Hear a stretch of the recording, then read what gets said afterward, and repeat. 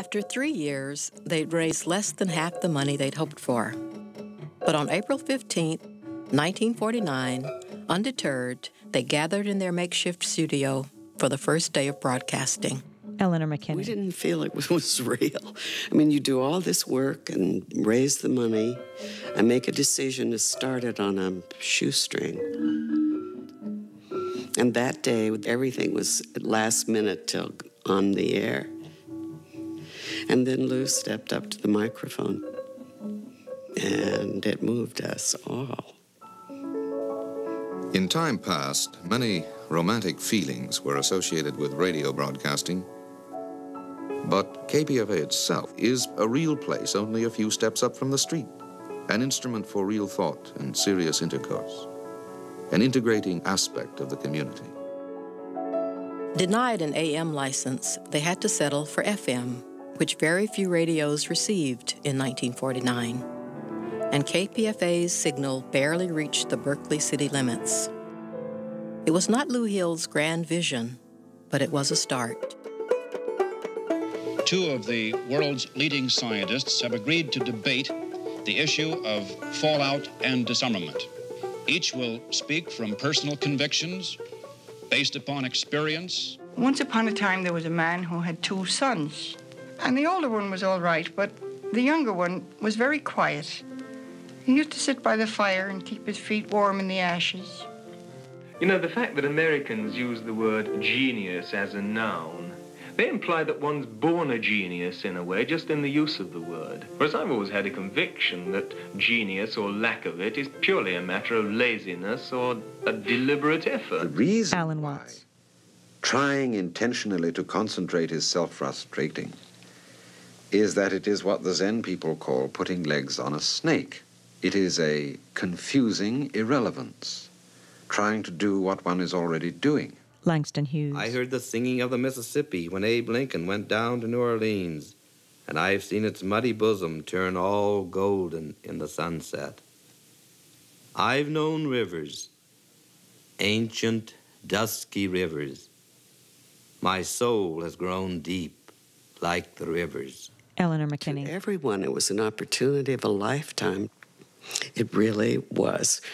Bringing ideas and goals and longings into a practical reality. Eleanor McKinney from the documentary KPFA on the Air by filmmakers Veronica Selver and Sharon Wood. Today marks the 60th anniversary of Pacifica Radio. We'll be back with more from the documentary in a minute. I grab the mic because I like to take it to another mental level. Low power frequency rate. There's hope for all. People get ready by the impressions here on Democracy Now!, democracynow.org, the War and Peace Report. I'm Amy Goodman. We're on the road in our 70 city Community Voices Community Media Tour. Today is the 60th anniversary of Pacifica Radio as we return to the documentary KPFA on the Air by filmmakers Veronica Selver and Sharon Wood. It's narrated by Alice Walker. In 1964, students at the University of California, Berkeley staged a protest calling on the university administration to lift a ban on on-campus political activities that launched what came to be known as the free speech movement. This is Mario Savio, the leader of the student sit-ins. My name is Mario Savio. I'm chairman of University Friends of SNCC. I've been one of the people who have been meeting with the deans here to see if we can have freedom of speech at the University of California. If you don't stand up for your freedom now, you're dead, guys. KPFA had barely survived an attack on its own freedom of speech. It would now commit itself to bringing the students' cause to the larger community. If the administration does not accept full political rights on this campus, we will be back for direct action until we have total democracy. On December 1st, the free speech movement announced that a round-the-clock sit-in would be held in Sproul Hall. We want all your support. This is everyone's issue. Get out. It's free speech. Fight them. Don't let them do this. At 7 p.m., the doors were closed, and police announced that anyone who remained in the building did so in violation of the law. You have five minutes to leave the building or you will be arrested. I don't know what's happening to these kids, but it looks, it looks horrible. They're grabbing them by their feet and throwing them down the stairs. One kid is now being pulled feet first down the stairs. Some other cops are grabbing him. Uh, we'll report this as the press. All right, okay, okay, all right, okay. Well, we're moving. Fine, okay. All right. By the time 800 students were arrested in December 1964, KPFA had become the voice of the student movement. have ordered us to get out of the way until they've gotten this cleaned up. And when student activists began to confront the war in Vietnam, KPFA's coverage fueled the movement's growing strength. Say no. Say no. You don't have to go. You don't have to go. You don't have to go. Dale Minor. For some 45 minutes now, the battle has been raging on the streets of Da Nang. We are now situated halfway between the two forces, and we're in a hollowed out building here. I didn't want to go to Vietnam to end the war. I wanted to go there because I wanted to go there and do that story. I had not too long before been one of them. I was in Korea. A number of young Vietnamese hiding in here also, and the shots are firing furiously up and down the street. Somebody up there has been hit. God damn. It was as close as I wanted. Dale Minor. Pacifica was uh, one of the earliest voices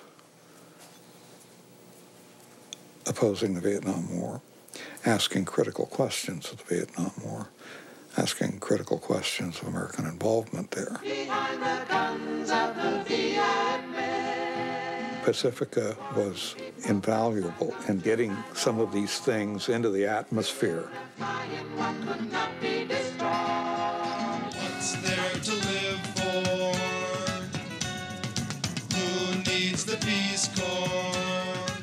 Hook together political activists and cultural activists and an avant garde and a bunch of really crazy people. And it was out of that mess that, that this synergy happened that created exciting things. Alan Snitow. Suddenly, something went wrong.